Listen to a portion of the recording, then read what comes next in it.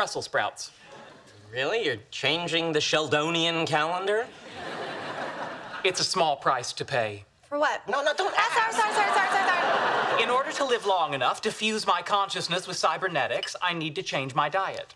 Wait, cybernetics is robot stuff, right? Correct. So you want to turn yourself into some sort of robot? Essentially, yes. Okay, here's my question. Didn't you already do that? But sadly, no. I'm also planning to begin an exercise regimen designed to strengthen my cardiovascular system, aka jogging. Okay, honey, have you ever run before? Certainly. I've run from bullies, dogs, angry chickens, and one particularly persistent PE teacher determined to bend me over and give me a scoliosis test. You're right. Penny jogs. Maybe you guys can run together. That's an excellent idea. Yeah, if we chat, it will create the illusion of time going faster. No, it won't. um, hey, how does he know I jog? Ah, he watches you from his car with high-powered binoculars. Oh my god, that is so creepy! I know! And he says he's not gonna stop. Yeah, but then see a shrink and figure out how to talk to women. Uh,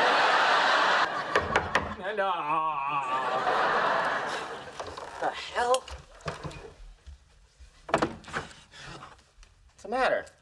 I have pain radiating from my navel to my lower right abdomen. I'm nauseated and feverish. I believe I may have cholera. There's no cholera in Pasadena. Just like last summer when there was no malaria in Pasadena. Well, if it's not cholera, then based on a quick internet search, the other explanations in decreasing order of likelihood are Hirschsprung's disease, botulism, a 30 foot tapeworm, or accidental ingestion of chrysanthemum blossoms. When would you have accidentally eaten chrysanthemum blossoms? It's part of an unlikely scenario that involves sleepwalking in a 24 hour flower mart with a less than vigilant proprietor. oh, Lord, my belly. Ever had your appendix out? I haven't. I've been meaning to, but who has the time? Uh, let's get you to the hospital.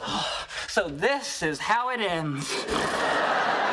With cruel irony, just as I make the commitment to preserving my body, I am betrayed by my appendix, a vestigial organ.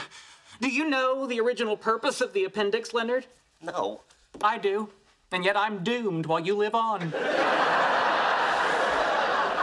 Funny how things worked out, isn't it? Oh, Lord, I think it's about to burst.